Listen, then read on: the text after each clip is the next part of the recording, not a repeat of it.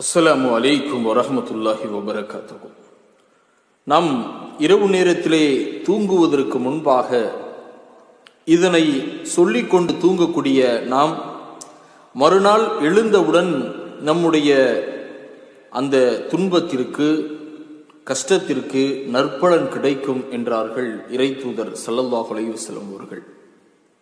என்ன அது புகாரிலே? ஏழாயிரத்தி நானூத்தி எண்பத்தி எட்டாவது ஹதீஸாகவும் முஸ்லிமிலே ஐயாயிரத்தி இருநூத்தி நாற்பத்தி ஒன்பதாவது ஹதீஸாகவும் இடம்பெறக்கூடிய இந்த ஹதீஸை பராபின் ஆசிஃப் ரதி அல்லாஹூ அன்பு அவர்கள் அறிவிக்கின்றார்கள். அல்லாஹுடைய தூதர் சல்லல்லாஹு அலைஹி வசல்லம் அவர்கள் என்னை நோக்கி இன்னாரே நீங்கள் உங்கள் படுக்கைக்கு செல்லும்போது இறைவா நான் என்னை உன்னிடம் ஒப்படைக்கிறேன். என் முகத்தை உன்னிடமே திருப்பினேன். என் காரியத்தை உன்னிடமே ஒப்படைத்தேன். என் விவகாரங்கள் அனைத்திலும் உன்னையே சார்ந்திருக்கிறேன். உன் மீதுள்ள பிரியத்திலும் அச்சத்திலும் தான் இவற்றை நான் செய்தேன். உன்னிடமிருந்து தப்பிக்கவும் ஒதுங்கிடவும் உன்னை தவிர வேறு போக்கிடம் எனக்கு இல்லை. நீ அருளிய உன் வேதத்தையும் நீ அனுப்பி வைத்த உன் தூதரையும் நான் நம்பினேன் என்று பிரார்த்தியுங்கள்.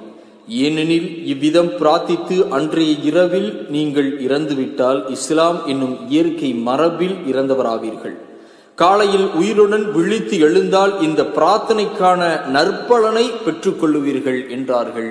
இறை தூதர் சல்லல்லாஹு அலைஹி அவர்கள். ஆகவே அல்லாஹ் மீது இருக்கக்கூடிய அளப்பெரிய அன்பாலும் அவன் மீது இருக்கக்கூடிய பயத்தாலும் யா அல்லாஹ் என்னுடைய அனைத்து விவகாரங்களையும் உன்னிடம் ஒப்படைத்து விட்டேன் என் முகத்தை உன்னை நோக்கி நான் திருப்பி விட்டேன் என் இறைவா என்று சொல்லிக் கொண்டு நாம் படுக்கைக்கு செல்லுவோம். படுத்து இன்ஷா அல்லாஹ் நாம் எழுந்தால் அன்றைய தினத்தில் நற்பலன் கிடைக்கும் என்றார்கள் இறை தூதர் சல்லல்லாஹ் செல்லும் அவர்கள்.